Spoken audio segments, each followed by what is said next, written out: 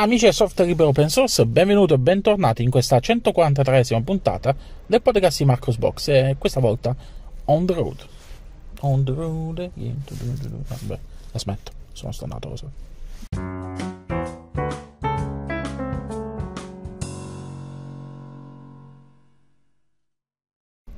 Ebbene sì, questa puntata è una puntata on the road perché sono per strada, oggi non so quando se tornerò e ho detto fammi fare questo piccolo esperimento, registrare una puntata dal telefonino direttamente, eh, direttamente per strada, quindi se sentirete ogni tanto rumori di traffico e quant'altro è, è il traffico e quant'altro che qua è l'ora di punto, è mezzogiorno, mezzogiorno e mezza anzi, e la gente sta correndo per andare a ficare i piedi sotto al tavolo e hanno ragione, hanno ragione iniziamo questa puntata. Apriamo questa puntata con eh, non un articolo, ma con una guida. La guida è stata pubblicata da Andrea Paz, che è un lettore di Marcosbox ed è un membro attivo della community Telegram di Marcosbox, alla quale vi invito a iscrivervi numerosi. Andrea Paz ha scritto diversi articoli per il, forum, per, il, per il blog e ha scritto adesso un nuovo articolo, eh, una, una, anzi una guida eh, che spiega come creare uno swap ZRAM. Andate a leggere una guida molto dettagliata, spiega eh, tante cose ed è una, cosa, una soluzione molto utile per, eh, per, chi, ehm, per, chi, vuole guadagnare in velocità eh, quando, quando, è costretto a utilizzare lo swap. Io personalmente non utilizzo più lo swap da quando ho ehm, ho un computer con 16 GB di RAM, quindi alla fine non, non, non, riesco mai a swappare per l'uso che faccio del computer però in altri casi eh, potrebbe rivelarsi molto utile. Andate comunque a leggere la guida, vi invito a commentarla, magari lasciare qualche commento se anche voi utilizzate una soluzione del genere o se avete qualche suggerimento per, um, per altre, um, per, per, modificare, per, per renderla più completa e quant'altro, insomma, perché ho visto che ci sono stati alcuni commenti al riguardo nei, nei scorsi giorni. Andate, andate a commentare numerosi. Passiamo adesso alle notizie riguardanti i rilasci di software. Qualche, qualche settimana fa c'è stato il rilascio della versione 3.1 di OpenShot. OpenShot lo conoscete di sicuro tutti quanti, è un editor video eh, gratuito e open source, eh, ma soprattutto multipiattaforma, quindi lo potete utilizzare anche se utilizzate macOS e Windows oltre Linux. Eh, questa nuova versione, la versione 3.1, introduce diverse novità che vanno a migliorarne le prestazioni e l'usabilità. Le principali novità sono eh, oltre 400 profili video completamente ricercabili, un miglioramento della rimappatura temporale con un miglior ricampionamento dell'audio e supporto per la curva eh, di Bezier, un sistema di annullamento ripristino eh, migliorato che quindi eh, include anche azioni di raggruppamento, eh, miglioramenti nelle finestre di dialogo anteprima e di videoclip, ehm, un effetto di tascaria migliorato, correzioni di memory leap, prestazioni migliorate ehm, con, eh, con, gli oggetti eh, frame mapper, eh, quindi con ottimizzazioni eh, della cache, ottimizzazioni specifiche proprio per, que- per queste funzionalità e altre. Ovviamente ehm, mancano poi tutti quanti una serie di correzioni di bug di, dei, vari, dei vari widget e sono stati fatti anche alcuni ritocchi per quanto riguarda ehm, la guida, i documenti in linea, quindi eh, se, se, se, avete necessità de, eh, de, della documentazione. Um, voi utilizzate OpenShot perché so che la maggior parte degli utenti su, su Linux vuoi anche per via della pubblicità gratuita che viene fatta da parte di, eh, di, diversi, di diversi, youtuber, eh, diciamo molti utilizzano eh, KDN Live Ehm, però eh, so che alcuni di voi resistono eh, con lo zoccolo duro e amano OpenShot. Quindi fatemi sapere voi che cosa ne pensate di questo applicativo, se, se lo utilizzate, se lo preferite e perché soprattutto lo preferite a KDGavi. Eh, io non metto, non, metto, non vi metto un parere, io utilizzo quello che capita di solito. Quindi se mi trovo principalmente mi trovo con eh, KD Live quando sto su distribuzione perché utilizzo per lo più KDE quindi me lo trovo per installato cioè tra, tra le applicazioni eh, di KDE quindi alla fine utilizzo quello. Però in passato ho utilizzato anche OpenShot per fare quei piccoli montaggi video che faccio io quindi eh, perché io faccio, faccio, davvero poca roba come potete vedere. Ripubblico soltanto le puntate del podcast ultimamente in formato, eh, con il formato video per YouTube eh, e poi qualche altra registrazione che faccio, quella, ma l'editing mio è proprio misero, misero, misero, basilare. Comunque, ripeto, fatemi sapere che cosa ne pensate se lo utilizzate. Continuiamo a parlare di applicativi che vengono aggiornati e parliamo adesso di eh, Firefox 112, la nuova versione del famoso browser web multipiattaforma che eh, resta lì a sfidare imperterrito eh, tutta quanta il marasma di browser basati su Chromium. Viva la resistenza, come dico sempre io, anche se vi faccio una, se- una piccola tiratina d'orecchio perché non lo utilizzo proprio al 100% come browser principale, sono, sono una persona cattiva, lo so. Ehm, quali sono le novità di Firefox 112? Ci sono diversi miglioramenti che sono stati, sono stati fatti. Eh, adesso, eh, facendo clic con il tasto destro del mouse sui campi delle password, viene visualizzata un'opzione per eh, mostrare la password salvata. Quindi è una cosa che aspettavo da, da diverso tempo. Io, sono uno di quelli smemorati che magari alcune password, quelle non essenziali, le salva, però poi non me le vado mai a ricordare. Meno male che c'è questa possibilità di farlo al volo direttamente senza andare nelle impostazioni del nostro password, che è una scocciatura. Altra novità riguarda gli utenti Ubuntu eh, che adesso possono importare i dati da Chromium installato tramite Snap. Attualmente questa funzionalità funziona soltanto se Firefox a sua volta è installato come pacchetto Snap, quindi da Snap a Snap, eh, però gli ingegneri di Mozilla hanno, hanno, detto che stanno lavorando per risolvere questo problema e questo fa piacere che Mozilla sta continuando la collaborazione con Canonical per migliorare la versione eh, in formato Snap di Firefox perché sapete che su Ubuntu, sull'ultimo Ubuntu, Firefox lo dovete beccare per forza in formato Snap. Però è una cosa anche un po' positiva perché alla fine gli aggiornamenti sono più rapidi. Uh, poi, sapete poi che Mozilla ha fatto anche un altro accordo poi con uh, Linux Mint e anche in quel caso fornisce aggiornamenti più rapidi per, per Firefox.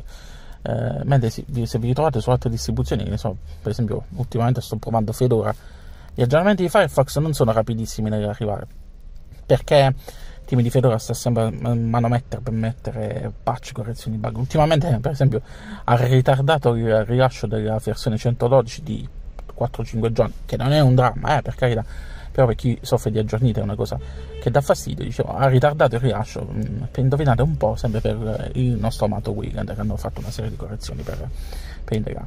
Io per, preferisco, continuo a preferire eh, un approccio più più rapido per gli aggiornamenti di Firefox, eh, soprattutto perché spesso ci si trova davanti anche a correzioni di, di problemi critici, perché adesso è stato aggiunto il rilascio di Firefox 112, però è subito stato fatto una minor release di emergenza eh, nella giornata di ieri mm, che serve per andare a correggere un problema, un problema grave che è nella gestione dei cookie. E chissà quando lo vedremo su, eh, lo vedremo su Fedora.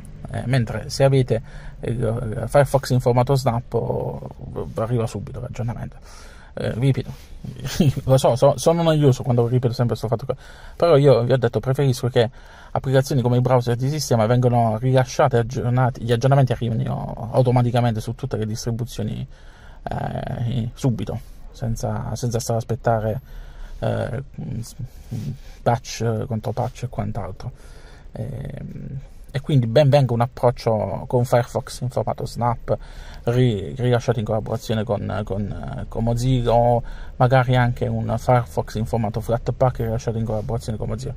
Eh, preferisco questi tipi di approcci per, per quanto riguarda gli aggiornamenti. Eh, che poi eh, facciamoci anche un altro. Lo so questo è un problema dovuto a una serie di dipendenze che ha, che ha, Firefox, però eh, vedete che cosa succede con i browser basati su Chrome.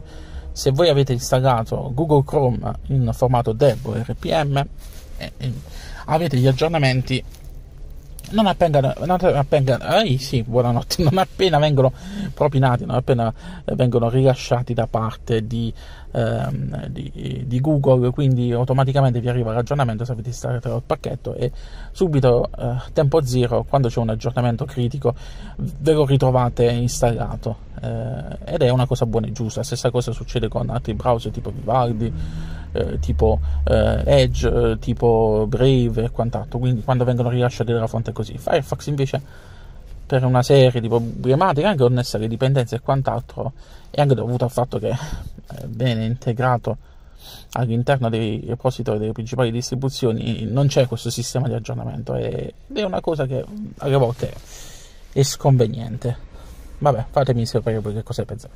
Torniamo comunque a parlare dei ragionamenti di questa versione nuova di Firefox. Adesso è possibile chiudere le schede facendo clic con il tasto centrale del mouse sugli elementi dell'elenco schede. È sempre possibile ehm, chiudere una scheda utilizzando il com- la scorciatoia, però la stessa scorciatoia adesso va anche a ripristinare la sessione precedente se non ci sono più schede chiuse.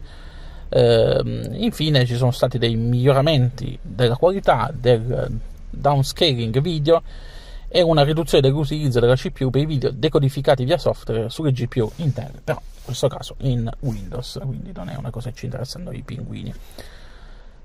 Utilizzate Firefox, vero? Fatemi sapere.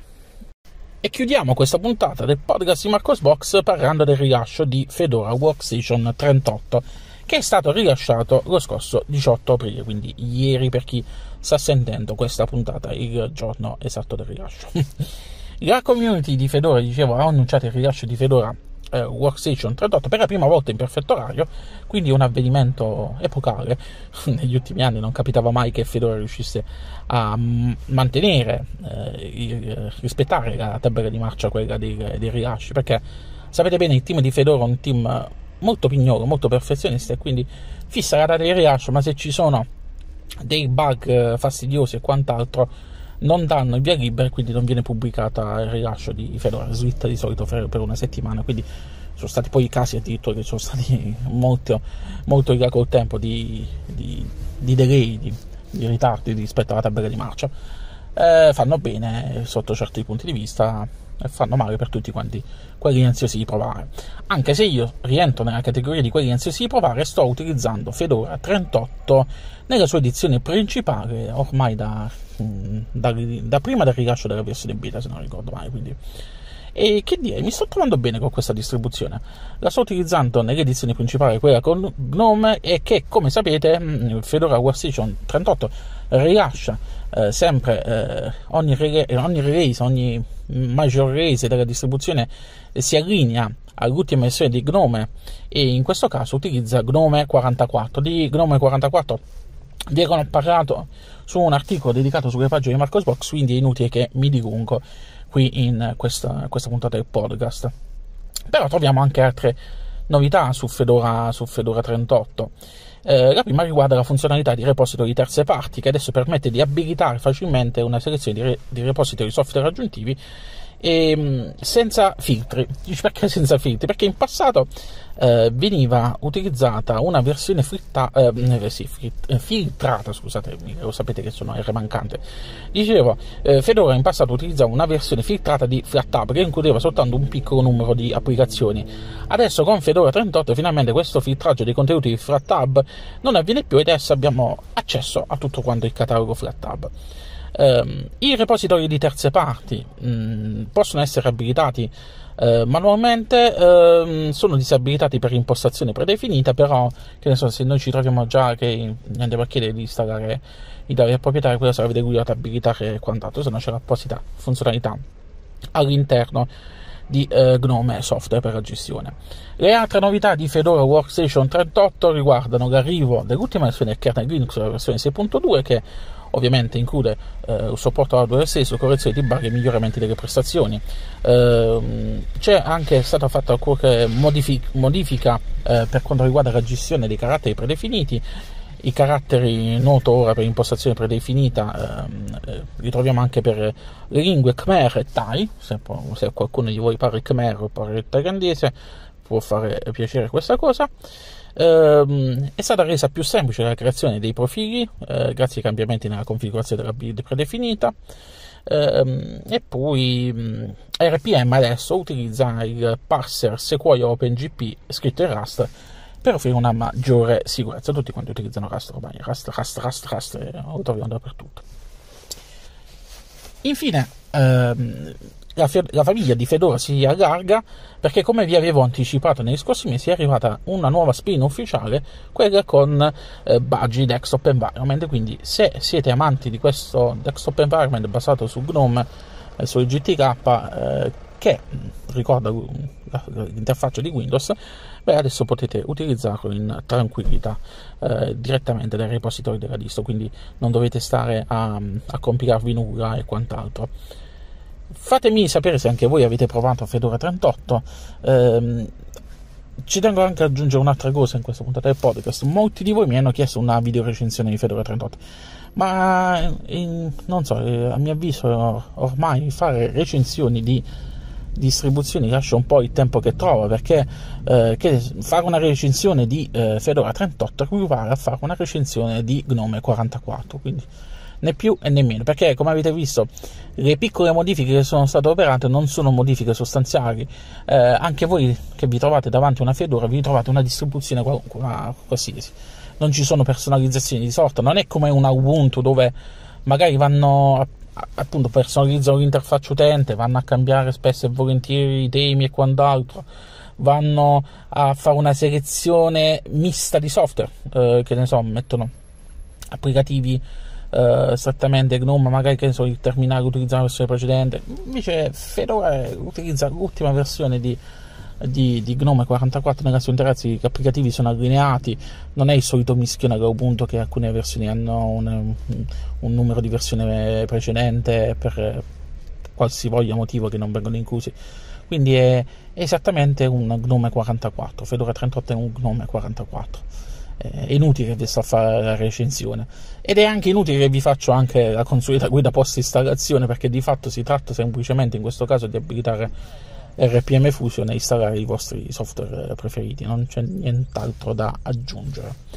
Eh, fatemi sapere voi, ripeto, che cosa ne pensate di Fedora 38, se l'avete provata, eh, se la utilizzate come distribuzione principale, se la tenete virtualizzata perché non lo so, non vi piace, perché non vi fidate di Fedora, non lo so, fatemi sapere voi lasciando un commento sulle pagine di Marcosbox.